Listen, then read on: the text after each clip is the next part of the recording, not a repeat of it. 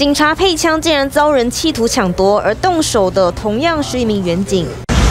事发在台东大武分局，一名林姓员警追求女同事遭到拒绝，事后不断骚扰对方，女方受不了告知上级，林姓员警因此从大武派出所被调到美和派出所，心生不满，数号晚上到大武分局找上级抗议，过程中林姓员警一度想抢夺所长身上的配枪，当场被压制上铐。这个林员啊，看见我们同仁在分局后方的广场侦办案件、借护人犯的时候。那竟突然从后方来抢夺我们同仁的一个警用配枪，予以记一次、记两大过免职，断然淘汰。